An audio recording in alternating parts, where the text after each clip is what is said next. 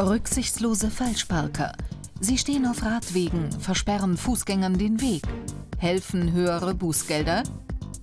Und Organspende als Pflicht? Der Bundesgesundheitsminister fordert die Widerspruchslösung. Wo bleibt dabei das Recht auf Selbstbestimmung?